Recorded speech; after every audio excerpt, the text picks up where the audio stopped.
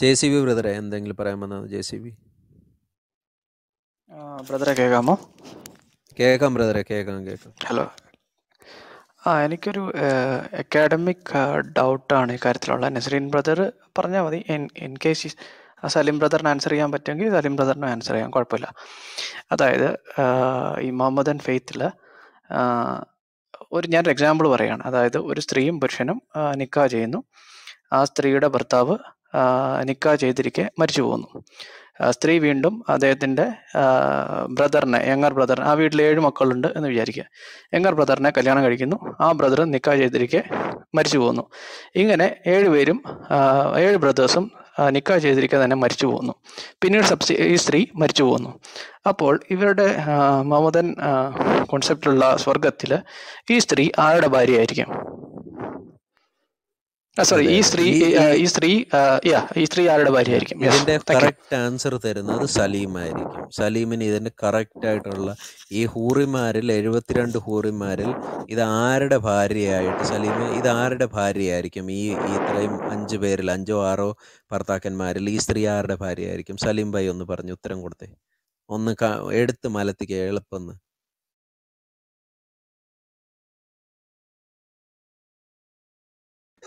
ഇപ്പൊ ചത്തവനെ പോലെ അഭിനയിക്കും കണ്ടോണേ. ഹലോ സലീം ബ്രദർ കേക്കാമോ? എന്താ പൊളിച്ചെടുക്കാൻ വന്ന സലീം ബ്രദറെ വാ ബ്രദറെ നിങ്ങൾ ഓരോന്ന് പൊളിച്ചെടുക്കാനല്ലേ വന്നു. ഞാൻ സംശയം ചോദിച്ചപ്പോഴാണല്ലോ പുള്ളി ആക്റ്റീവ് ഞാൻ അടുത്ത സംശയം കൂടെ ചോദിക്കാം. പുള്ളി ആക്റ്റീവ് ആവുമെന്ന് പ്രതീക്ഷിക്കാം അല്ല? അപ്പൊ ഞാൻ ആദ്യം സംശയം ഞാൻ നസറിൻ നിങ്ങളോട് പറയട്ടെ. ചത്തവനെ പോയി ഈ നമ്മുടെ നാട്ടിൽ വേറൊരു ഒരു ഒരു ഒരു പ്രത്യേക തരം ഒരു ഇനം ഒരു മൃഗമുണ്ട്. തൊട്ട് കഴിഞ്ഞാൽ നേരെ ഇങ്ങനെ മലന്ന് കിടക്കും. ആ- ആൾക്കാരുടെ പുള്ളിയുടെ വിചാരം ആൾക്കാരൊന്നും കാണുന്നില്ലെന്ന്. സലീം ഭായി ഉത്തരം ജീവിച്ചിരിപ്പത്. ഈ സ്ത്രീ ആരുടെ ഹൂറിയായിട്ട് വരും? ഒന്നാമത്തെ ഭർത്താവിന്റെ രണ്ടാമത്തെ ഭർത്താവിന്റെ എന്താ ചോദിക്കുന്നത്? ക്വസ്റ്റ്യൻ കേട്ടോ ബ്രദറെ ഒന്നുകൂടെ പറഞ്ഞു J C B brother okay അപ്പൊ ഞാൻ പറഞ്ഞതിന് അല്ല ഞാൻ പറഞ്ഞതിന് ഉത്തരം നിങ്ങൾ തന്നില്ല. അത് ഇപ്പൊ ഒഴിവാക്കുകയാണോ ഉത്തരം പറ ഉത്തരം പറ അതെന്തിനാ അത് മറച്ചു വെച്ചിട്ട് പുതിയതൊക്കെ ഇത് പറഞ്ഞുകൂടെ നിങ്ങൾക്ക്? പറയാൻ ബുദ്ധിമുട്ടുണ്ടെങ്കിൽ നമ്മൾ വിട്ടേക്കാം. അദ്ദേഹം പറഞ്ഞല്ലോ അദ്ദേഹത്തിന് പറയാൻ ബുദ്ധിമുട്ടുണ്ടെന്ന്. മനസ്സിലായില്ലയോ താങ്കൾ അദ്ദേഹത്തിന് പറയാൻ ബുദ്ധിമുട്ട് അപ്പൊ പറഞ്ഞത് കള്ളത്തരമാണ് അംഗീകരിച്ചല്ലോ. കള്ളത്തരം. താങ്കൾക്ക് താങ്കൾക്ക് പ്രൈവസി എന്ന് പറയുന്ന ഒരു കാര്യം തലേ കയറുന്നുണ്ടോ ഒരാൾ പ്രൈവസി താങ്കളെ സഹോദര സഹോദരൻ നിങ്ങൾക്ക് ഇസ്ലാമിനെ മുഴുവൻ രാവിലെ മുതൽ വൈകുന്നേരം ചീത്ത പറയാൻ നിങ്ങൾക്കാണ് പ്രൈവസി രാവിലെ മുതൽ വൈകുന്നേരം വരെ ഇസ്ലാമിനെ ചീത്ത പറയാൻ നിങ്ങൾക്ക് എന്ത് പ്രൈവസി നിങ്ങൾക്ക് പറഞ്ഞുകൂടെ? ഞാൻ ഇന്നാളെ ഡിബേറ്റ് ചെയ്തു. നിങ്ങൾക്കൊരു ഒരു വിലയല്ല? നല്ലൊരു എന്താണ് ക്രെഡിറ്റ് അല്ലേ നിങ്ങൾക്ക്? ആവശ്യമില്ല. അപ്പോഴത്തേക്ക് ക്രെഡിറ്റ് അതിന്റെ കാര്യത്തിലേക്ക് ഉത്തരം പറ. കുറെ കള്ളന്മാര് പറയണ്ട പറഞ്ഞോളൂ ചോദിക്കട്ടെ ഓക്കെ സലീം സലിം ബ്രദറെ ബ്രദറെ ജെ സി ബി ബ്രദർ ചോദിച്ചതിന്റെ ഉത്തരം പറയൂ പ്ലീസ് ചോദിച്ചു ചോദിച്ചു അറിയാവുന്നല്ലേ പറയത്തുള്ളൂ കേട്ടാ. നമ്മൾ നിങ്ങളത്രയും വലിയ അറിയാൻ വേണ്ടി തന്നെ പണ്ഡിതന്മാരൊന്നും അല്ല ആ ബ്രദറെ ഞാനും അറിയാൻ വേണ്ടി തന്നെയാണ്. ഒരു അക്കാഡമിക് ക്വസ്റ്റ്യൻ ആണ്. ബ്രദറിന് അറിയാമെങ്കിൽ ബ്രദർ പറയൂല അക്കാഡമിക് അക്കാദമിക് അക്കാദമിക് ആണെങ്കിൽ അക്കാദമിക് ആണെങ്കിൽ ഈ ഹാരിസ് മദിനെ പോലൊരു വരുന്നവർക്ക് വന്ന് ചോദിച്ചാൽ ഇതൊരു സിമ്പിൾ ക്വസ്റ്റ്യൻ ആണ്. സിമ്പിൾ ആണ് പറയാൻ. ഒരു വീട്ടിൽ ഏഴ് മക്കളുണ്ട് ഓക്കെ? ഏഴ് ആൺകുട്ടികളുണ്ട് ഓക്കെ? ആ വീട്ടിൽ ഒരു സ്ത്രീ അതിൽ ഏറ്റവും മൂത്തയാളെ ഒരു സ്ത്രീ ഒരു സ്ത്രീയുമായി നിക്കാഹ് ചെയ്യുന്നു ഓക്കെ? ആ സ്ത്രീയുമായിട്ട് നിക്കാഹ് ചെയ്തിരിക്കെ ആ പുരുഷൻ മരിച്ചു പോകുന്നു ആ സ്ത്രീ രണ്ടാമത്തെ ബ്രദറുമായിട്ട് നിക്കാഹ് ചെയ്യുന്നു. ആ ബ്രദറും മരിച്ചു പോകുന്നു ഇങ്ങനെ ഒന്ന് രണ്ട് മൂന്ന് ഏഴ് ആൾ ആളുകളെ ആ സ്ത്രീ ആ, ഓരോരുത്തരും മരിച്ചു പോയതിനു ശേഷം സബ്സീക്വന്റ് ആയിട്ട് നിക്കാ ചെയ്യുന്നു. അവരെല്ലാം മരിച്ചു പോകുന്നു അതിനുശേഷം ആ സ്ത്രീയും മരിച്ചു പോകുന്നു അപ്പോൾ നിങ്ങളുടെ മുഹമ്മദൻ കോൺസെപ്റ്റിലുള്ള സ്വർഗത്തിൽ ഈ സ്ത്രീയുടെ ഭർത്താവ് ആരായിരിക്കും? അത് പറഞ്ഞാൽ മതിയോ? മതി മതി. സ്വർഗം എന്ന് പറയുന്നത് ഈ ഈ ലോകം അല്ലല്ലോ. സ്വർഗം സ്വർഗത്തിൽ നമ്മൾ എങ്ങനെ എത്തപ്പെടുന്നത്? നിങ്ങളുടെ മാതിരി സ്വർഗത്തിൽ എത്തിക്കഴിഞ്ഞാൽ രാവിലെ മുതൽ വൈകുന്നേരം വരെ ഞാൻ പിതാവിന്റെ അടുത്തുണ്ടാവും. എന്താ അവിടെ ചെയ്യുന്നത്? അത് എനിക്കറിയത്തില്ല. കസേരയിട്ട് ഞങ്ങൾ പിതാവിന്റെ ഒപ്പം ഇരിക്കും. അത്രല്ലേ ഉള്ളു നിങ്ങളുടെ സ്വർഗത്തെ കുറിച്ച്? അവരും എനിക്ക് ഒരു മിനിറ്റ് പറഞ്ഞോട്ടെ പറഞ്ഞല്ലോ. വ്യക്തമായിട്ട് വിശദമായി പറയാൻ വേണ്ടിയാ. വിശദമായി അടങ്ങിയിരുന്നാ പറയാം ഞങ്ങളുടെ നിങ്ങൾ പറഞ്ഞ ഞങ്ങളുടെ സ്വർഗം എന്ന് പറഞ്ഞാൽ പിതാവിന്റെ അടുത്ത് ഞങ്ങൾ ഇരിക്കും. പിതാവ് ഇരിക്കുന്ന കണക്ക് രാവിലെ മുതൽ വൈകുന്നേരം ഇരിക്കും. പിന്നെ ഇരിക്കും. ഇത് തന്നെയാണ് നിങ്ങളുടെ സ്വർഗം അല്ല നിങ്ങളുടെ സ്വർഗത്തെ കുറിച്ച് ഒന്നും പറയുന്നില്ല. ശരിയാണല്ലോ. ഞങ്ങളുടെ സ്വർഗത്തിൽ കുറിച്ച് കുറിച്ച് ഞങ്ങൾ പറയാം. ഞങ്ങൾ ഈ ലോകത്ത് പറയട്ടെ പറയട്ടെ പറയട്ടെ പറയട്ടെ പറയട്ടെ പറയട്ടെ പറയട്ടെ പറയട്ടെ പറയട്ടെ. അല്ല ഞാൻ പറയാം നിങ്ങളുടെ സ്വർഗത്തെ കുറിച്ച് ഞാൻ പറയാം നിങ്ങളുടെ സ്വർഗം എന്ന് പറയാം. പറഞ്ഞ ഇതല്ലേ ആണല്ലോ നിങ്ങളുടെ സ്വർഗം എന്ന് പറഞ്ഞാൽ ഞങ്ങളുടെ ഞങ്ങൾ കർത്താവിന്റെ ഒപ്പം ഉണ്ടാവും കർത്താവ് എന്ത് ചെയ്യുന്നു? കർത്താവ് മുള്ളാൻ പോകുമ്പോ ഞങ്ങൾ മുള്ളാൻ പോകും. കർത്താവ് പോകും പിന്നെ ഞങ്ങൾ അല്ല പറഞ്ഞോട്ടെ സമയം സമയം കളയാൻ നിൽക്കാതെ മര്യാദയ്ക്ക് മര്യാദ ചോദിച്ച ഉത്തരം ചോദ്യത്തിന് ഉത്തരം ഞാൻ നിങ്ങൾ പറയട്ടെ ഞങ്ങളുടെ പറയട്ടെ സ്വർഗത്തിന്റെ സഹോദര അകത്തോട്ട് കയറി അടങ്ങു അടങ്ങു സഹോദര ഞാൻ അറിയാമെങ്കിൽ പറയട്ടെ അതിന്റെ ആൻസർ പറ. കൊഞ്ഞനം ആൻസർ സഹോദരൻ പറയട്ടെ. ഇനി ഞങ്ങളുടെ സ്വർഗത്തെ കുറിച്ച് പറഞ്ഞുതരാം. ഞങ്ങൾ ഈ ലോകത്ത് നല്ലപോലെ ജീവിച്ചാൽ ഞങ്ങൾ മരണാനന്തര സ്വർഗത്തിൽ പോകും. ഞങ്ങൾ ദോഷമായി ജീവിച്ചാൽ ഞങ്ങൾ നരകത്തിൽ പോകും. സ്വർഗത്തിൽ നമുക്ക് എന്തും ആഗ്രഹിക്കാം അതെല്ലാം കിട്ടും. ഈ മരിച്ചുപോയ ഏഴ് ഭാര്യമാരെ വേണോ? അല്ലെങ്കിൽ പുതിയൊരു ഭാര്യ വേണോ? അള്ളാഹുവിനെ കൊണ്ടുള്ള കഴിവുണ്ടല്ലോ. പുതിയ ഏഴ് ഒന്നും ഒരു ഭാര്യ നിലനിൽക്കെ നിക്കാ ചെയ്ത നിലനിൽക്കെ ആ ഭർത്താവ് മരിച്ചു പോവുകയാണ്. ഓക്കെ? രണ്ടാമത്തെ സഹോദരനെ കല്യാണം കഴിക്കുന്നു. നിക്കാ അവിടെ പോയി നമുക്ക് ഇവർക്ക് ആരെയും വേണ്ടെങ്കിൽ വേറെ ഭാര്യ വേണം. അവിടെ കിട്ടും സ്വർഗമല്ലേ സ്വർഗമേ ബ്രദറെ ക്വസ്റ്റ്യൻ ഒന്നുകൂടെ കൃത്യമായി കേൾക്കും.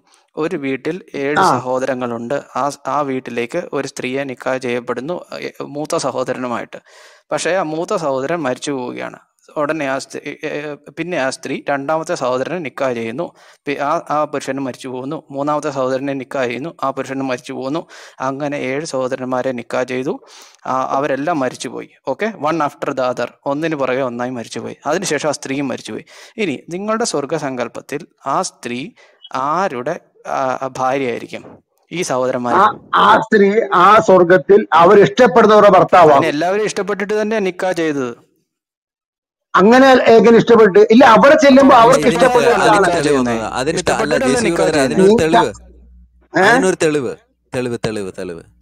ഇത് നിങ്ങൾ സമ്മതിച്ചോ? ഈ പറഞ്ഞ ഓക്കെയാണ് സ്വർഗത്തിൽ അവസ്ഥയിലാണ് ഇല്ല ഓക്കെ അല്ലല്ലോ. ഓക്കെ ഇതാണ് ഉദ്ദേശിക്കുന്നത് ഇനി നിങ്ങൾ ഉദ്ദേശിക്കുന്ന ആൻസർ ഒന്ന് പറഞ്ഞു ഞാൻ എന്റെ സലീമ സലീമ ഞങ്ങളെ സമ്മതിപ്പിക്കുകയല്ല. നിങ്ങളുടെ നിങ്ങളുടെ നിങ്ങളുടെ സ്വർഗത്തെ കുറിച്ച് പറ. പ്ലീസ് പ്ലീസ് പ്ലീസ് ഞങ്ങളുടെ സ്വർഗത്തിലെ അവസ്ഥ എന്ന് പറയുന്നത് അവിടെ വന്നു.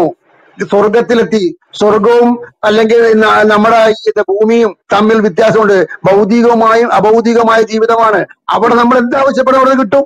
അതിന്റെ അതല്ല കുഴപ്പം എന്താ ബ്രദറെ ദൈവത്തിനുള്ള കഴിവില്ലേ മനസ്സിലായി സഹോദരൻ സഹോദര ഞാൻ പറഞ്ഞുതരാം. സഹോദരൻ പറഞ്ഞുതരാം. ഒരു സ്ത്രീ ഒരു കുടുംബത്തെ ഒരാൾ വാങ്ങിച്ചു. അയാൾ മരിച്ചു അതിന്റെ അടുത്താൾ കഴിച്ചു. അങ്ങനെ ഏഴുപേര് വിവാഹം കഴിച്ചു. വിവാഹം ഇനി എന്തെങ്കിലും വിവാഹമല്ല ആയിക്കോട്ടെ. ഓ ആയിക്കോട്ടെ സഹോദര ഓക്കെ ഓക്കെ സഹോദര. ഇവർ ഇവർ മരിച്ച് സ്വർഗത്തിൽ ചെല്ലുന്നു. ഇവർ സ്വർഗത്തിൽ ചെല്ലുന്ന ഉറപ്പ് നിങ്ങൾക്കുണ്ടോ? അത് നമുക്കറിയത്തില്ല നമുക്ക് ഉറപ്പൊന്നുമില്ല. ആര് ഇല്ല സ്വർഗത്തിൽ ചെല്ലും? ചെന്നു. ഓക്കെ ഓക്കെ ഓക്കെ ചെന്നു. ഇവർ സ്വർഗത്തിൽ ചെന്നു. ഈ ഏഴുപേര് സ്വർഗത്തിൽ ചെന്നു. ആ സ്വർഗത്തിൽ ചെല്ലുമ്പോൾ ആർക്ക് ആരെ വേളിലും കെട്ടിക്കൂടെ? എന്താ കുഴപ്പം എന്താ?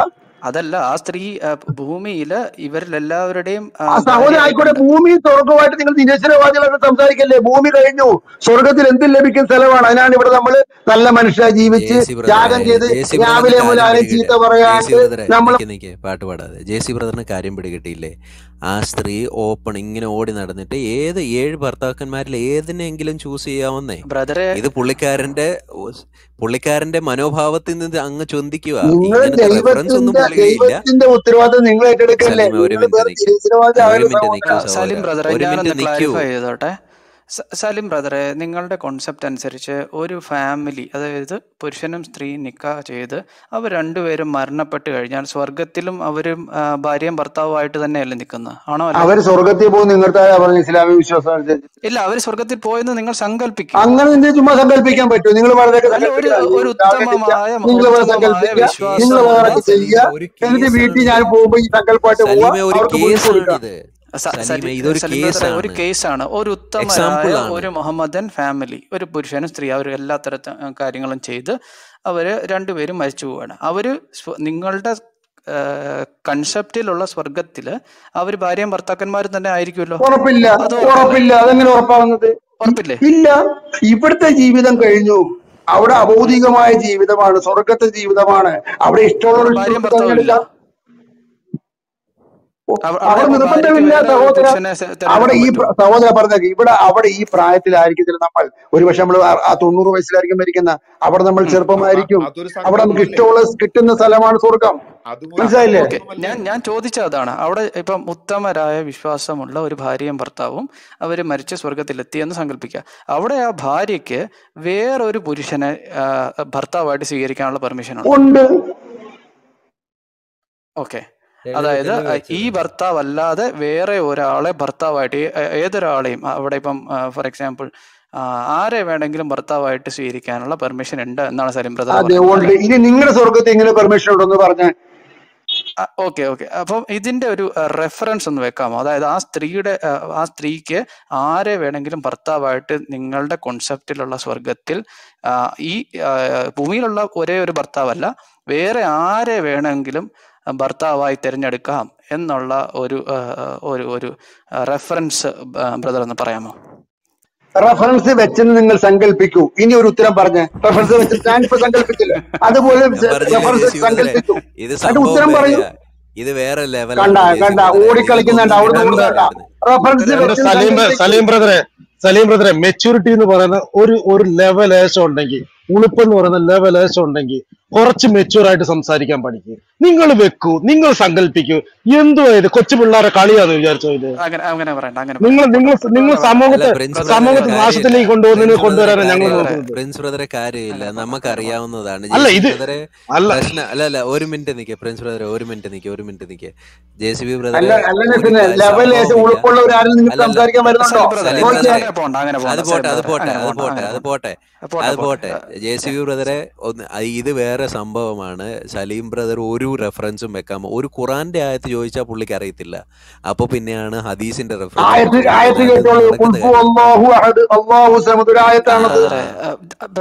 അള്ളാഹു അനേകരിൽ ഒരുവനാവുന്നു. അള്ളാഹു അറിയാമെന്ന് ഞങ്ങൾ ആയത്ത് ആശ്രയമാകുന്നു നിങ്ങൾ പറഞ്ഞത്. ഞാൻ ആയത്ത് പറഞ്ഞില്ലേ? നിങ്ങൾ ഞാൻ ഇടപെട്ടോട്ടെ. നിങ്ങൾ പറയുന്ന കള്ളത്തരങ്ങളല്ല സത്യം എന്ന് ജനങ്ങൾക്ക് മനസ്സിലാകട്ടെ അതിനു വേണ്ടി സംസാരിക്കുന്നത്. സലിം ബ്രദറെ വിത്ത് ഡ്യൂ റെസ്പെക്ട് ബ്രദറിനോട് ഞാൻ ചോദിക്കാത്ത കാര്യങ്ങൾ ബ്രദർ പറഞ്ഞിട്ട് നമുക്ക് രണ്ടുപേർക്ക് സമയമുണ്ടല്ലോ സമയം കുറവല്ലേ? ഞാൻ ചോദിച്ചത് ഇത്രയേ ഉള്ളൂ. ഈ സ്ത്രീ ഈ- സിറ്റുവേഷനിൽ അതായത് ഒരു കുടുംബത്തിൽ ഏഴ് പുരുഷന്മാരുണ്ട്. ആ സ്ത്രീ ആദ്യം അതിന്റെ മൂത്തയാളെ നിക്കാ ചെയ്തു. അയാൾ മരിച്ചു. സബ്സിക്വന്റ്ലി ആ സ്ത്രീ അവിടുത്തെ എല്ലാ മനസ്സിലായി. വിശദീകരിച്ച സമയങ്ങളിൽ അടുത്ത ചോദിച്ചോളൂ. ആ അപ്പോൾ ഞാൻ ബ്രദർ പറഞ്ഞ ആൻസർ എന്ന് പറയുന്നത് ഒരു ഉത്തമ ഉത്തമ വിശ്വാസിയായിട്ടുള്ള ഭാര്യയും ഭർത്താവും നിങ്ങളുടെ കോൺസെപ്റ്റ് പ്രകാരം അവർ മരിച്ച് സ്വർഗത്തിലെത്തിയാൽ ആ ഭാര്യയ്ക്ക് ഇപ്പോഴുള്ള ഭർത്താവ് അല്ലാതെ വേറെ ആരെയും ഭർത്താവായി തിരഞ്ഞെടുക്കാനുള്ള റൈറ്റ് ഉണ്ട് എന്നാണ് ബ്രദർ പറഞ്ഞത്. ആണോ അല്ലേ?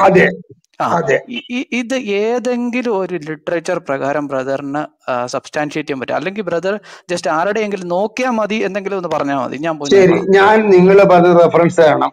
നിങ്ങൾ നേരത്തെ പറഞ്ഞ ഹദീസ് പണ്ഡിതിന്റെ റെഫറൻസ് നിങ്ങൾ തരാമോ എന്നാ ഞാനും തരാം. ഞാൻ പറഞ്ഞില്ലല്ലോ ബ്രദറെ. ഞാൻ ഹദീസ് എന്നുള്ള നിങ്ങൾ പറഞ്ഞത് ഞാൻ ഡിബേറ്റ് നടത്തി ഞാൻ ഡിബേറ്റ് നടത്തി ഇന്ന പണ്ഡിതന്മാരുമായിട്ട്. ആ പണ്ഡിതന്റെ റെഫറൻസ് നിങ്ങൾ ബ്രദറെ പറയും. അത് ഞാനല്ല. പറഞ്ഞ ബി ബ്രദറിനോട് സംസാരിക്കുക നിങ്ങൾ. ബ്രദറെ അത് ഞാനല്ല. ബ്രദർ ആളറിയാതെയാണ് സംസാരിക്കുന്നത്. ശരി എനിക്ക് കണ്ണിന് അത്ര കാഴ്ച കുറവാണ് എനിക്ക് പത്ത് കുഴപ്പമില്ല ബ്രദറെ. അതൊക്കെ കുഴപ്പമില്ല. മനുഷ്യരല്ല സാരല്ല സാരല്ല. ഞാൻ ഞാൻ ചോദിച്ചത് ഞാൻ ശരി. അതീസ് ഞാൻ തപ്പി എടുത്തോളൂ നിങ്ങൾക്ക് വേണ്ട അതീസ് എന്ന് പറഞ്ഞേ. അതായത് ഒരു പുരുഷന് ഉത്തമ വിശ്വാസികളായിട്ടുള്ള ഒരു പുരുഷനും സ്ത്രീയും മരിച്ച സ്വർഗത്തിൽ എത്തിക്കഴിഞ്ഞാൽ ആ സ്ത്രീക്ക് ഇപ്പോഴുള്ള ഭർത്താവല്ലാതെ ലോകത്തിൽ ഏത് ആളെയും അതായത് ആ സ്ത്രീക്ക് സ്വതന്ത്രമായി വേറൊരാളെ ഭർത്താവായിട്ട് തിരഞ്ഞെടുക്കാനുള്ള റൈറ്റ് ഉണ്ട് എന്ന് ബ്രദർ പറഞ്ഞു. അതിനുള്ള റെഫറൻസ് നിങ്ങൾ പറഞ്ഞ റെഫറൻസ് ഒരു നിങ്ങൾ പറഞ്ഞ റെഫറൻസ് ഒരാളെ മരിച്ചു ഏഴ് ഭർത്താക്കന്മാരും ഒരു ഭാര്യ നിങ്ങൾ പറഞ്ഞ അതേ കഥ കോപ്പി അടിച്ചൊന്നും ഹദീസ് കാണത്തില്ല. ആരെയും വിവാഹം കഴിക്കാന്നുള്ള ഹദീസ് മാത്രം മതിയല്ലോ. അല്ലെ നിങ്ങൾ കൊണ്ടുവരും പറയും ഞാൻ പറഞ്ഞ പോലെ ഒരെണ്ണം കൊണ്ടുപോകാന്ന് പറഞ്ഞാൽ അത് പിന്നെ പുതിയ ഹദീസ് എഴുതേണ്ടി വരും. അത് ഇസ്ലാമിൽ അങ്ങനെ ന്യൂ ന്യൂ ന്യൂ ഓൾഡ് ഒന്നും ഇസ്ലാമിലില്ല. ആവശ്യമനുസരിച്ച് എഴുതി വെക്കാനായിട്ട്. അപ്പൊ അതുകൊണ്ട് ശരി ശരി ശരി. കൊണ്ടുവരാം കൊണ്ടുവരാം. അപ്പോഴത്തേക്ക് ചർച്ച തുടർന്നോളൂ കേട്ടാ ഞാൻ കൊണ്ടുവരാം. കാരണം നിങ്ങളുടെ മാതിരി ഒരു പുസ്തകമല്ല ഞങ്ങളുടെ ബ്രദറെ പല ഹദീസ് കാണും. അങ്ങനെ ഒന്നും പോവണ്ട. ഞാൻ അതൊന്നും ശരി ഞാൻ പറഞ്ഞ കേൾക്കാനുള്ള സെന്റൻസ് കാണിക്കും സഹോദര. ഈ പറഞ്ഞ ഒരുപാട് ഒരുപാട് ഹദീസുകളാണ് ഞങ്ങൾക്ക്. ഏത് ഹദീസ് എന്താ പറയുക പറഞ്ഞ മറിച്ചിട്ട് നോക്കാൻ പറ്റത്തില്ല. പല ഹദീസുകൾ വായിക്കുമ്പോഴേക്കും ഈ ചരിത്രം വരുന്നത്. ആ ചരിത്രം വെച്ച് നോക്കേണ്ട വരും അതുകൊണ്ടാണ് ഞങ്ങൾ റെഫറൻസ് കൊണ്ടുവന്ന് പറയുമ്പോൾ പെട്ടെന്ന് ഞങ്ങൾക്ക് കൊണ്ടുവരാൻ പറ്റാത്ത. നിങ്ങളുടെ ബൈബിളുമാതിരി ചെറിയൊരു കൈപുസ്തകം അല്ല ഇത്? അപ്പൊ അതുകൊണ്ട് ഞാൻ എടുത്തോണ്ട് വരാം. ബ്രദറെ അതിനകത്തൊരു ഫാക്ച്വൽ എറർ ഉണ്ട്. ബൈബിളിൽ മുപ്പതിനായിരത്തിന് മുകളിൽ വേഴ്സസ് ഉണ്ട്. നിങ്ങളുടെ ബുക്കിനകത്ത് ആറായിരത്തിൽ താഴെ ഉള്ളൂ. നിങ്ങളുടെ അതുകൊണ്ട് കഴിയുന്നില്ലേ? കഴിഞ്ഞില്ലേ ഞങ്ങളുടെ അതുകൊണ്ട് കഴിയുന്നില്ല. ഇപ്പൊ ഒരു ഖുറാൻ എടുത്താൽ തഫ്സീറുകൾ ഉണ്ടാവും. പല പണ്ഡിതന്മാരും തഫ്സീർ ഉണ്ടാവും ഹദീസ് ഉണ്ടാവും ഇജ്മാ ഉണ്ടാവും അങ്ങനെ പല പുസ്തകങ്ങളേക്ക് റെഫർ ചെയ്യേണ്ടി വരും കേട്ടോ. ഇതെല്ലാം ഇതെല്ലാം ദൈവം ഇറക്കിയതാ. Okay brothers I rest my case പുള്ളിക്കാരൻ ആ റെഫറൻസ് ഒന്ന് കൊണ്ടുവരട്ടെ അള്ളാഹു ഇറക്കി അള്ളാഹു ഇറക്കി തന്നതിനെ മനസ്സിലാക്കാൻ ബ്രദറെ അള്ളാഹു ഇറക്കി തന്നതിനെ മനസ്സിലാക്കാൻ വേണ്ടി മനുഷ്യൻ എഴുതിയ പുസ്തകത്തിനകത്തോട്ട് നിങ്ങൾ റെഫർ ചെയ്തോണം. എന്നാലേ നിങ്ങൾക്ക് അള്ളാഹു ഇറക്കി തന്ന ആയത്ത് മനസ്സിലാകത്തുള്ളൂ അതായത് നസ്രീം ബ്രദറെ ഇവർ അള്ളാഹു ഇറക്കിയതിനെ മനുഷ്യ അള്ളാഹുവിനെ പഠിപ്പിക്കുന്ന ഗ്രന്ഥങ്ങളാണ് തഫ്സീർ എന്ന് തോന്നുന്നു. അള്ളാഹു അങ്ങോട്ട് പഠിപ്പിക്കാന്ന് തോന്നുന്നു തഫ്സീറിൽ. എന്തായാലും കൊള്ളാം. അച്ഛൻ മറ്റേ റൂം ഇടുന്നുണ്ടോ? അതോ ഈ റൂം തന്നെ കണ്ടിന്യൂ ചെയ്യുവാന്ന്? നമ്മളത് ഹലോ ശരിയല്ലല്ലോ. അത് എന്ത് എന്നാ ഒരു ഒന്നര മണിക്കൂറും കൂടെ പോട്ടെ. അതെ അതെ നമുക്ക് ഒരു മണിക്കൂർ മുന്നോട്ട് വയ്ക്കാം. ബ്രദർ ഞാൻ ഒരു ഒരു ഡൗട്ടും കൂടി ചോദിച്ചോട്ടെ? ബ്രദർ ഞാനൊന്ന് കൺക്ലൂഡ് ചെയ്തോട്ടെ? ബ്രദർ ഒന്ന് കൺക്ലൂഡ് ചെയ്യട്ടെ. എന്നിട്ട് നമുക്ക് മറ്റുള്ളവരിലേക്ക് ആ എല്ലാരും ഒന്ന് ഷെയർ സലീം ബ്രദർ അല്ലാത്ത ബാക്കി എല്ലാ ബ്രദേഴ്സിനും ജെസി ഒരു സെക്കൻഡ് ഒരു സെക്കൻഡ് എല്ലാരും ഒന്ന് ഷെയർ ചെയ്തോളൂ. പ്ലീസ് ഓക്കെ പറഞ്ഞോളൂ ജെസി. സലീം ബ്രദറിന് അറിയുമെന്ന് എനിക്കറിയത്തില്ല. പക്ഷെ ബാക്കിയുള്ളവർക്കും ഇതിന്റെ ഏഴ് പേരുടെ കോണ്ടെക്സ്റ്റ് മനസ്സിലായി എന്ന് ഞാൻ വിചാരിക്കുന്നു. മനസ്സിലായില്ലെങ്കിൽ അതെ അതെ അതെ. ബൈബിളിൽ റെഡിയാണ്. ബൈബിളിൽ നിന്ന് ഈ സെയിം ചോദ്യം ഒരാൾ ചോദിച്ചായിരുന്നു കർത്താവായ യേശു ക്രിസ്തുവിനോട് യേശു ക്രിസ്തു അതിന് ഉത്തരം കറക്റ്റ് ആയിട്ട് കൊടുക്കുന്നു ലൂക്കോസ് ട്വന്റി ട്വന്റി സെവനിലുണ്ട് ആർക്ക് വേണമെങ്കിലും റെഫർ ചെയ്ത് നോക്കാവുന്നതാണ്. Thank you rest my case thank you Sajan brother പറയുന്നത് നമുക്ക് ഖദീജയെ ഒന്ന് റെഫറൻസ് ആയി എടുത്തു കഴിഞ്ഞാൽ ഖദീജ ആദ്യമേ മൂന്ന് കെട്ടിയതായിരുന്നല്ലോ. അല്ലേ ജേസി ബ്രദറെ? ഖദീജ മൂന്ന് ഭർത്താക്കന്മാർ ഓൾറെഡി കെട്ടി കഴിഞ്ഞിട്ടല്ലേ അത് കഴിഞ്ഞിട്ടല്ലയോ? മുഹമ്മദ് നബിക്ക് കിട്ടുന്നത്. ബ്രദറെ അപ്പൊ അതിലൊക്കെ അത് അത് അതിലൊക്കെ അപ്പോഴത്തേനും വൈറ്റ് വാഷിംഗ് വരും. ആദ്യ അത് അതിനു മുമ്പത്തെ വെഡ്ഡിങ്സ് അങ്ങനത്തെ അവരുടെ റൂൾസ് പ്രകാരം അല്ല. അതുകൊണ്ട് തന്നെ ഇൻവാലിഡ് ആണ് എന്നൊക്കെ പറയും. അതെ അതെ അതെ അതെ. അതാണ് പ്രശ്നം. പക്ഷെ ജേസി ജെ സി ബ്രദറെ ഈ സ്വന്തം പിതാവിനെ വെള്ളമടിപ്പിച്ച് മത്തനാക്കി കടത്തിയിട്ട് അവന്റെ പുള്ളിക്കാരന്റെ താടിയെല്ലാം കളർ ചെയ്ത് സൂപ്പറായിട്ട് ഉടുപ്പൊക്കെ ഉടിപ്പിച്ചിട്ട് പുള്ളി രാത്രിയിൽ ഉറങ്ങിക്കിടക്കുന്ന സമയത്ത് നിക്കാഹ് കഴിച്ച ഒരു അല്ലമീൻ എന്ന നബി ഇവർക്കുണ്ട്. അതിനെപ്പറ്റിയൊന്നും ഇവരാരും പറയുന്നില്ല. അല്ല ഇതിന്റെ ഒരു ആൻസർ വരട്ടെ ബ്രദറെ നമുക്ക് നോക്കാന്നേ. ഓക്കെ ഓക്കെ അലക്സ് ബ്രദർ എന്താ ചോദിക്കാൻ അലക്സ് ബ്രദർ നസ്രീൻ ബ്രോ ഇതിന് ആരെങ്കിലും അവരുടെ എന്തെങ്കിലും ഒരു പ്രോപ്പർ ആൻസർ ഉണ്ടോ എന്നറിയാൻ എനിക്കൊരു കൗതുകമുണ്ട്. ജേസി ബ്രദറിന് തോന്നുന്നുണ്ട് അതിന് ഉത്തരവുണ്ടെന്ന്. ഉത്തരം ഉണ്ടെന്ന് എനിക്ക് തോന്നുന്നില്ല അതിന് ഉത്തരവുണ്ടെന്ന്. ഉത്തരം ഉണ്ടെന്ന് നസ്രീന്റെ തല പൊളിയുന്ന ചോദ്യം ഞാൻ ചോദിക്കാൻ പോകുന്നത് ഇതിന് കൃത്യമായിട്ട് ആരെങ്കിലും ആൻസർ കൃത്യമായിട്ട് പറയാൻ പറ്റില്ല. ബട്ട് നസ്രീന്റെ തല അവരുടെ പൊളിയുന്ന ഒരു ചോദ്യം ചോദിക്കാൻ പോകുന്നത് ഈ മോഹൻ നബി ഒരുപാട് കല്യാണങ്ങൾ ശിക്ഷയും ലൈംഗിക വീഴ്ചയും ഒക്കെ കല്യാണമല്ല കല്യാണമല്ല കല്യാണമല്ല കല്യാണമല്ല കല്യാണമല്ല. ആ ആ അതിനകത്ത് ഏറ്റവും ഇമ്മോറലായിട്ടുള്ള ഒരു നിക്കാഹ് ഒന്ന് പോയിന്റ് ഔട്ട് ചെയ്യാമോ? നിങ്ങൾക്ക് ഏറ്റവും ഇമ്മോറലായിട്ട് തോന്നുന്ന ഒരു സഫിയ ബിൻ ഹുനൈൻ. ഒന്ന് എക്സ്പ്ലെയിൻ ചെയ്യാമോ? എന്താ എന്റെ കാരണം എന്നുള്ളത്? പറയാം പറയാം. സഫിയ ബിൻ ഹുനൈന്റെ സിറ്റുവേഷൻ നമ്മളെല്ലാവരും അറിഞ്ഞിരിക്കേണ്ടതാണ്. സഫിയ ബിൻ ഹുനൈനെ ഇവർ പറയുന്നത് വിശ്വാസികളുടെ മാതാവ് എന്നാണ് ഇവർ വിളിക്കുന്നത്. സഫിയ ബിൻ ഹുനൈന്റെ സിറ്റുവേഷൻ നമുക്കൊന്ന് നോക്കാം. കുറച്ച് സമയമെടുക്കുന്ന ഒരു സ്റ്റോറിയാണ്. സഫിയ ബിൻ ഹുനൈന്റെ സിറ്റുവേഷൻ എന്ന് പറഞ്ഞു കഴിഞ്ഞാൽ സഹി മുസ്ലിമിന്റെ ആയിരത്തി മുന്നൂറ്റി അറുപത്തി അഞ്ചിനകത്ത് ഈ ഖൈബർ ഹുദ് യുദ്ധത്തിന്റെ ആ സിറ്റുവേഷൻ കഴിഞ്ഞു കഴിയുമ്പോൾ പുൾ നബി കുറേ യുനോ കുറേ ആളുകളെ പിടിക്കുകയും അതുപോലെ തന്നെ അവിടെ ഉള്ളവരെ പലരെയും യുനോ കൈക്കലാക്കുകയും പല കൊള്ള മുതലൊക്കെ കൈക്കലാക്കുകയും ചെയ്യുന്ന ഒരു സിറ്റുവേഷൻ വരുന്നുണ്ട്. അവിടെ ഇങ്ങനെയാണ് പറയുന്നത് that is ruined, and when we get down in the valley of the people, uh, a people evil in the morning of the warned ones. ഈ മു- മുന്നിലോട്ട് സിറ്റുവേഷൻ വരുന്നത് ഇങ്ങനെയാണ് എന്ന് പറഞ്ഞു കഴിഞ്ഞാൽ അവർ കൊള്ളം മുതൽ ഈ പ്രിസണേഴ്സിനെ എല്ലാം ആ, വീതിച്ചെടുക്കുക. വീതിച്ചെടുക്കുന്ന സമയത്ത് ആ, അവിടെ ഉണ്ടായിരുന്ന ഒരു ബുദ്ധിമാനായ ഒരു ഒരു മുസ്ലിം ഉണ്ടായിരുന്നു. അവൻ ദഹിയ എന്ന് പറഞ്ഞ ഒരു മുസ്ലിം. അവൻ നേരെ ചെന്നിട്ട് നബിയോട് പറയാണ് നബിയെ എനിക്ക് ഈ കൊള്ളം സ്ത്രീകളിൽ നിന്നും എനിക്കൊരു സ്ത്രീയെ വേണം. അപ്പം നബി പറഞ്ഞു എന്നാൽ ശരി നീ പോയി എടുത്തോ. അപ്പോൾ ഈ പുള്ളിക്കാരൻ നേരെ പോയി പിടിക്കുന്ന Safiya bin ഹുനൈന്യ. Safiya bin Hunain was the daughter of ആ ഇനം ആ പെർട്ടിക്കുലർ ട്രൈബിന്റെ രാജാവിന്റെ ഡോട്ടറായിരുന്നു അല്ലെങ്കിൽ മകളായിരുന്നു Safiya Binu. She was the most beautiful among the whole അവൾ ഉണ്ടായിരുന്ന സ്ത്രീകളിൽ നിന്നും ഏറ്റവും സുന്ദരിയായിരുന്നു ഈ പുള്ളിക്കാരത്തി. ഹുയൈ ബിൻ ഖത്ത അൽ ഖത്താബിന്റെ മകളായിരുന്നു സഫിയ. അപ്പം ഈ ദഹിയ എന്ന് പറയുന്ന ഈ വ്യക്തി ചെന്നിട്ട് സഫിയെ കയ്യിൽ ആക്കി.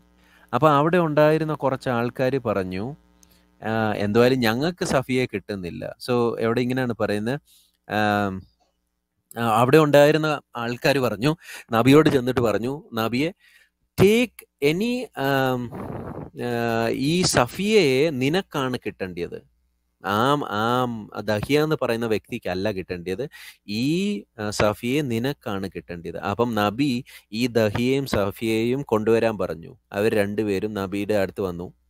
നബി എന്തുവായാലും സഫിയെ കണ്ടു കഴിഞ്ഞപ്പോൾ പുള്ളിക്കാരന്റെ മനസ്സിൽ ലഡ്ഡുകൂട്ടി മുന്നിലോട്ട് പറയുന്നത് ഇങ്ങനെയാണ്. Take any other woman from among the prisoners and he said he then granted her emancipation and married her അപ്പം നബി സഫിയെ അവൾ കൈക്കലാക്കി കഴിഞ്ഞിട്ട് യുനോ ദഹിയോട് പറഞ്ഞു നീ പോയി വേറെ ഏതെങ്കിലും സ്ത്രീയെ എടുത്തോ. എന്നിട്ട് ആ രാത്രിയിൽ തന്നെ എന്ന് പറഞ്ഞാൽ ഈ പുള്ളിക്കാരത്തിയുടെ പിതാവും പുള്ളിക്കാരത്തിയുടെ അനി ബ്രദറും അതുപോലെ തന്നെ പുള്ളിക്കാരത്തിയുടെ ഹസ്ബൻഡിനെയും കൊന്ന അത് കഴിഞ്ഞിട്ട് ഇവളെ കൈക്കലാക്കിയ ആ രാത്രിയിൽ തന്നെ നബി ഇവളുമായിട്ട് വീട് കൂടുന്നതായിട്ട് നിങ്ങൾക്ക് ഈ ഈ ഹദീസിനകത്ത് കാണാം.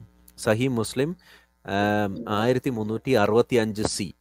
ഇനി ഇസ്ലാം മതപ്രകാരം ശരിക്കും പറഞ്ഞു കഴിഞ്ഞാൽ സൂറ അറുപത്തി അഞ്ചിന്റെ നാല് പ്രകാരം ഒരു വിശ്വാസിനിയായിട്ടുള്ള ഒരു സ്ത്രീക്ക് ഇദ്ദാക്കാലം മൂന്ന് മാസത്തേത് കൊടുക്കേണ്ടതാണ് അപ്പം കാരണം ഈ പുള്ളിക്കാരത്തി ഓൾറെഡി മറ്റേ ഒരാളുടെ ഭാര്യയായിരുന്നു.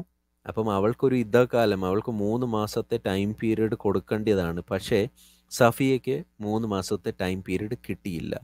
എന്നിട്ട് അവളെ ഈ ഈ യുനോ ഈ ദിവസങ്ങളിൽ തന്നെ ഈ മൂന്ന് ദിവസങ്ങളിൽ ഈ ഖൈബറിൽ നിന്നും യുനോ ഖൈബറിൽ നിന്ന് പോകുന്ന ആ ഒരു സമയത്ത് തന്നെ നബി അവളുമായിട്ട് ലൈംഗിക ബന്ധത്തിൽ ഏർപ്പെടുക. ശരിക്കും പറഞ്ഞാൽ ഇത് ലൈംഗിക ബന്ധമല്ല. ഇതിനെ പ്രോപ്പറായിട്ടുള്ള ഒരു ബലാത്കാരം എന്ന് നമുക്ക് പറയാം. കാരണം വേറെ ഒരു ഹദീസിനകത്ത് സഫിയ തന്നെ പറയുന്ന ഒരു ഹദീസിനകത്ത് പറയുന്നത് ഞാൻ ഏറ്റവും കൂടുതൽ വെറുത്തിരുന്ന ആളുകളിൽ നിങ്ങളായിരുന്നു. എന്ന് പറഞ്ഞാൽ എന്റെ ഭർത്താവിനെയും എന്റെ പിതാവിനെയും എന്റെ സഹോദരനെയും കൊന്ന് കൊന്നു കഴിഞ്ഞിട്ട് താങ്കൾ എന്നെ കൈക്കലാക്കി. അതുകൊണ്ട് ഞാൻ താങ്കളെ ഏറ്റവും കൂടുതൽ വേർത്തിരുന്നു എന്ന് സഫിയ തന്നെ പറയുന്നുണ്ട്. അതുകൊണ്ട് എനിക്ക് തോന്നുന്നത് സഫിയയുമായിട്ടുള്ള ഒരു വിവാഹബന്ധമാണ് ഏറ്റവും യുനോ നികൃഷ്ടമായിട്ടുള്ള ഒരു വിവാഹബന്ധം. കാരണം അവൾക്ക് മൂന്ന് മാസത്തെ ഇദ്ദാകാലം കൊടുത്തില്ല. അവളുമായിട്ട് ബലാത്സംഗം നടത്തി. എന്നിട്ട് ആ മൂന്ന് ദിവസം അവളുമായിട്ട് ബലാത്സംഗം നടത്തിയിട്ട് ടെന്റിന്റെ വെളിയിൽ അയൂബ് എന്ന് പറയുന്ന ഒരു ഭടനെ വെളിയിൽ നിർത്തി യുനോ ഈ ബലാത്സംഗം നടത്തി. അത് കഴിഞ്ഞിട്ട് അയൂബ് അവിടെ വെളിയിൽ നിൽക്കുമ്പം നബി വെളിയിൽ വന്നിട്ട് ഇത് കാണുകയാണ് ഈ അയൂബ് വാളുമായിട്ട് നിൽക്കുന്നത്. ആ ആ സമയത്ത് അയ്യൂബിനോട് ചോദിച്ചു നീ എന്തിനാ ഇവിടെ നിൽക്കുന്നേ? ഇതിന്റെയും റെഫറൻസ് ഉണ്ട്. അപ്പോൾ അയ്യൂബ് പറയുന്നത് ഞാൻ ഇവളുടെ ഭർത്താവിനെയും പിതാവിനെയും സഹോദരനെയും കൊന്നതാണല്ലോ. അതുകൊണ്ട് ഞാൻ എങ്ങനെ ഇവളെ നിങ്ങളുടെ അടുക്കൽ ഏൽപ്പിച്ചിട്ട് വിശ്വസിക്കും? അതുകൊണ്ടാണ് എനിക്ക് വിശ്വസിക്കാൻ പറ്റത്തില്ല. അതുകൊണ്ടാണ് ഞാൻ വെളിയിൽ നിന്നത്. അപ്പം അവിടെ ശരിക്കും ഒരു ബലാത്സംഗമാണ് നടന്നത്. അവൾ ഇത്രയും ബുദ്ധിമുട്ടിലൂടെ പോയ ഒരു സ്ത്രീക്ക് അവളുടെ പിതാവിനെയും യുനോ ഇങ്ങനെ ഈ യുനോ ഫാമിലി മെമ്പേഴ്സിനെയും ഒക്കെ മുന്നിൽ കൊല്ലപ്പെട്ട് കഴിഞ്ഞിട്ട് അവൾ ഇങ്ങനെ ഒരു ബലാത്സംഗം അവളുടെ ജീവിതത്തിൽ ഏർപ്പെട്ടു. അപ്പം അതാണ് എനിക്ക് തോന്നുന്നത് ഏറ്റവും യുനോ വൃത്തികേടായിട്ടുള്ള ഒരു ഒരു നിക്കാഹ് പുള്ളിയുടെ. നല്ലൊരു ഉത്തരവാട്ടെ എനിക്ക് തോന്നുന്നത് ശരിക്കും പറഞ്ഞു കഴിഞ്ഞാൽ മറ്റേ മറ്റേ മകന്റെ ഭാര്യയെ കണ്ട് സ്നേഹിച്ച് അവനെ കൊണ്ട് അവളെ ഡിവോഴ്സ് ചെയ്യിപ്പിച്ച് എന്നിട്ട് അവളെ കരസ്ഥമാക്കിയ ഒരു കുൽസിതമുണ്ടല്ലോ. അതാണ് ഏറ്റവും മോശമെന്നാണ് എനിക്ക് തോന്നുന്നത്. എന്റെ ഒരു പേഴ്സണൽ ചോയ്സ് ആട്ടാ. അല്ല പക്ഷെ അലക്സ് ബ്രദറെ അതിനകത്ത് അല്ല പക്ഷെ അലക്സ് ബ്രദറെ അത് ചിലപ്പം അത്ര ബുദ്ധിമുട്ടുള്ള കാര്യമല്ല. കാരണം ഈ ഈ പുള്ളിക്കാരത്തി സയ്യിദിന്റെ ഭാര്യ സൈനബ് സൈനബ് ആക്ച്വലി ആദ്യമേ തന്നെ മുഹമ്മദിന്റെ ഒരു കസിൻ റിലേഷനിൽ വരുമായിരുന്നു. പുള്ളിക്കാരത്തി ആദ്യമേ വിചാരിച്ചത് മുഹമ്മദുമായിട്ട് നിക്കാഹ് കഴിക്കാമെന്നാണ് പുള്ളിക്കാരി വിചാരിച്ചത്. അതുകൊണ്ടാണ് ഈ സയ്യിദിന്റെ വിഷയം വന്നപ്പോൾ പുള്ളിക്കാരത്തി എതിർത്തത്. ആ സമയത്താണ് സൂറ മുപ്പത്തി മൂന്നിന്റെ മുപ്പത്തി ആറ് ഇറങ്ങുന്നത്.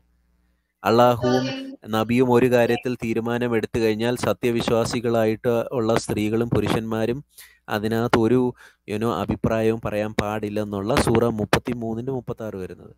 അതുകൊണ്ട് എനിക്ക് തോന്നുന്നത് അതൊരു വലിയൊരു കാര്യമല്ല. ആ പുള്ളിക്കാരത്തിൽ ചിലപ്പം ആഗ്രഹിച്ചുകൊണ്ടായിരിക്കും. സൈദിനെ കെട്ടിക്കൊണ്ട് വലിയ കാര്യമൊന്നുമില്ല. അതുകൊണ്ട് യുനോ അത് തന്നെയൊന്നും നാസ്രിൻ പറഞ്ഞത് പറഞ്ഞു വളരെ സത്യം തോന്നുന്നു. കാരണം ഈ സ്ത്രീക്ക് ആദ്യം ഇഷ്ടമല്ലായിരുന്നല്ലോ സയ്യിദിനെ കല്യാണം കഴിക്കാനായിട്ട്. അപ്പൊ നബിയാണ് തീരുമാനിച്ച് കല്യാണം കഴിച്ചു കൊടുക്കുന്നത്. അതെ അതെ അതെ. സഫിയയുടെ സഫിയയുടെ വീഡിയോ സഫിയയുടെ എന്തോ ആനിമേഷൻ വീഡിയോ നിങ്ങൾക്ക് കാണണമെങ്കിൽ ഞാൻ മേളിൽ അതിന്റെ ലിങ്ക് ഇട്ടിട്ടുണ്ട്. നിങ്ങൾ എല്ലാവരും പോയി അത് കാണുക. എന്തൊരു ഒരു പൈശാചികമായ എന്ന് പറഞ്ഞാൽ ഒരു ഹീനകൃത്യമാണ് അവിടെ നടന്നിരിക്കുന്നത്. പാർട്ട് വൺ പാർട്ട് ടു ഉണ്ട്. നല്ല യുനോ ആനിമേറ്റഡ് ആയിട്ടുള്ള ഒരു വീഡിയോ ആണ്. നിങ്ങൾ പോയി അതിന്റെ റെഫറൻസ് എല്ലാം അവിടെ കൊടുത്തിട്ടുണ്ട്. ശരിക്കും ഒരു ശരിക്കും നിങ്ങൾ പറഞ്ഞത് ഇൻ പ്രിൻസിപ്പിൾ ഞാൻ യോജിക്കുന്നുണ്ട്. കാരണം ഒരു സീരിയൽ കില്ലറിന് പോലും അവരുടെ ഭർത്താവും അപ്പനും മരിച്ച ദിവസത്തിൽ തന്നെ അവളെ ബലാത്സംഗം ചെയ്യപ്പെടുക എന്നുള്ളത് ആരെ കൊണ്ടും താങ്ങുന്നൊരു കാര്യമല്ലായിരിക്കും. പക്ഷെ എന്നിട്ട് എന്തുകൊണ്ടാണ് ഈ സഫിയ മുഹമ്മദിന്റെ കൂടെ വലിയ വഴക്കും വയ്യാവലില്ലാതെ ജീവിച്ചത്? അവസാനം വരെയും ഈ സഫിയ ഉള്ളതായിട്ടാണ് നമ്മൾ കാണുന്നത് അല്ലേ? ഭാര്യമാരുടെ രണ്ട് ക്യാമ്പുകളുണ്ട്. സഫിയ അതിനകത്ത് എനിക്ക് തോന്നുന്നു ആയിഷയുടെ ഒപ്പമായിരുന്നു. അങ്ങനെ എന്തോ ഒരു ഒരു ഇതിൽ ഞാൻ വായിച്ചതായിട്ട് ഓർക്കുന്നു. അതിന് തെളിവൊന്നും ഇല്ലെങ്കിലും നാട്ടിൽ എന്നൊരു ചൊല്ലുണ്ടല്ലോ ഒരു വേള പഴക്കമേറിയാൽ ഇരുളും മെല്ലെ വെളിച്ചമായി മാറിടുന്നു. ഒരുപക്ഷെ അതായിരുന്നിരിക്കാം. ഒരുപക്ഷെ അതൊരു ഗസ് മാത്രമാണ്.